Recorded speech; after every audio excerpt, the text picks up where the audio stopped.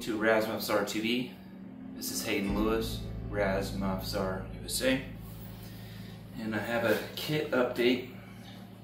I found a very good price on a mail jacket. And here it is. And front open. However, there is some gaps right here. If they had moved these straps a little bit more to the left, it would overlap. So I'm not gonna leave it as is. Didn't button this part. But this is what it looks like prior to getting modified. Fits me well. Um, this The sleeves are excessively large and long.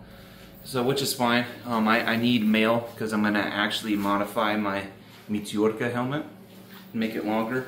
So I'm gonna chop these sleeves in half and I'm gonna remove all these straps and I'm gonna attach hooks on it so it can overlap. But um, overall, it's very well made. It's riveted. It's already blackened. It's very well oiled. It came very well oiled, and it was for a very, very good price. See, here's it look.